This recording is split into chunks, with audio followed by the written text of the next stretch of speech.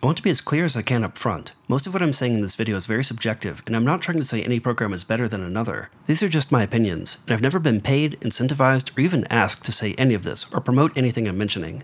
I took most of the week off, so I have nothing new to show on cargo defense, but I got an idea from the Discord chat for something else to talk about. This week I'm going to run through the software I use to do most of my work. First off, if you've watched any of my past vlogs, you already know I'm using Godot. Since I already made a video about why I chose it over other engines, I won't rehash that here, but 5 months later I still think it was a good choice. For the C++ side of things, I'm using Visual Studio.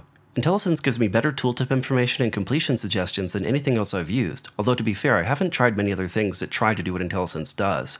It's also got pretty comprehensive debugging tools. Not as hardcore as WinDBG, but I haven't had to go that deep in a long time. When I'm not doing C++, I tend to code in Sublime Text 3. It's deeply configurable, and there's already a plugin for GDScript syntax highlighting. In fact, the main reason I started using Sublime was I was able to add syntax highlighting rules for my own scripting language for a past game project. I've written a plugin for it too, in Python. I don't even know Python, but GDScript is similar enough that I was able to figure out the basics pretty quickly. Sublime's autocomplete suggestions aren't as context aware as IntelliSense, but they're still helpful. And honestly, I just like how it looks. It's definitely a lot less cluttered than Visual Studio. I used to use Notepad++, and I still do sometimes for diffing files, but it's not cross-platform, and I increasingly value being able to use the same tools everywhere. But now let's talk about what I use for making these videos. I start by recording narration in Reason 10. It's really overkill for this, but I spend a lot of time using Reason for music, so it's what I'm most familiar with for audio editing and processing. You could do pretty much the same thing with free software like Audacity, or Wavosaur if you got some free VST plugins, but it would take me some time to get familiar with them, and I just don't have a reason to. Whatever software you use, a little processing can make a big difference. This is what I sound like unprocessed. Yeah, let's turn those effects back on. And if you're curious about the hardware side, lately I'm using an Audio-Technica AT2050 plugged into an M-Audio M-Track 8X4M. On occasion I've used an AKG C214 plugged into a Focusrite ISA1, but I feel like subjectively the AT2050 is better for spoken word with my voice. Of course, different voices will get along better with different microphones, but any decent large diaphragm condenser mic will probably sound fine with some post-processing if you're not an extreme audiophile.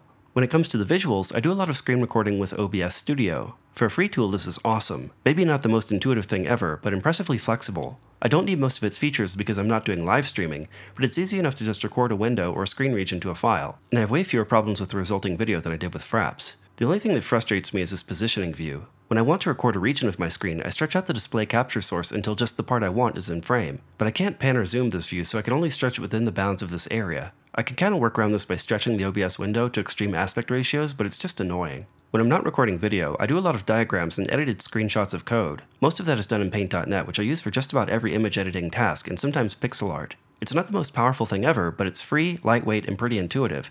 Definitely a lot easier for me to figure out than GIMP or Photoshop. I can do layering with different blend modes, draw shapes, generate noise textures, and turn off anti-aliasing or smooth rescaling when I want harsh pixelation. However, if I want to do more serious artwork, I turn to ArtRage. Not to say I'm a serious artist to begin with, but ArtRage has a lot of great tools. It works really well with my Cintiq, and it's really intuitive and easy to use. It's not free, but at $80 I think it's totally worth it if you want a program that simulates traditional media. I've also been using slideshows a lot lately because it's just an easier way to lay out information on a screen. I've been using Google Slides for this mostly. I tried Keynote on my MacBook for a video or two, but despite the relative slowness of web-based apps, I just found Google Slides easier to use. PowerPoint would probably be even better for this, but it's not worth the price to me right now. For most of my editing, I use Vegas Pro 14 Edit Steam Edition, and I hate it. I hate it. There's a newer version available now, but there's no way I'm paying money for an upgrade. This software has crashed on me so many times, I can just about guarantee it will crash at least once during the making of this video. I've submitted dozens of crash reports, pleaded with them to fix it, and get in touch if there's anything I can do to help reproduce the issue, but no. It's been years, and if they don't care to fix the software I paid hundreds of dollars for, they're not getting another dollar out of me. To be fair, when it's not crashing, its interface is more intuitive to me than other video editors I've tried. And it's got all the tools you need to do quite a lot, like animating movement of multiple layers of video, freezing and changing playback rate with a curve, etc. Although it has plenty of bafflingly frustrating elements, like who decided this was the best way to position text on a screen? I could go on with minor complaints, but one way or another, Vegas is constantly annoying me. It's just been hard to switch because everything else I've found with its level of capability is either expensive or really confusing to a newcomer like me. I'm going to spend some more time exploring other options, and I'll probably have a follow-up video later on. I think that covers just about everything I use for everything you've seen on this channel. If I've left out something you're curious about, feel free to leave a comment or join us on Discord.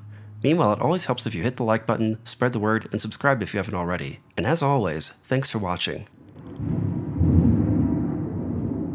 And it's rather stormy outside.